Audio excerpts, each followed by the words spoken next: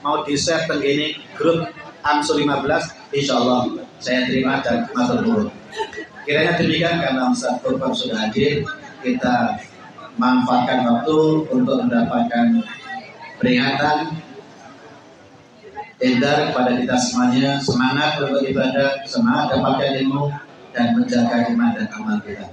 Demikian dari kami kurang lebihnya mohon dimaafkan. Bila hidayah. Assalamualaikum warahmatullahi wabarakatuh. والسلام على ورحمة سير النار الله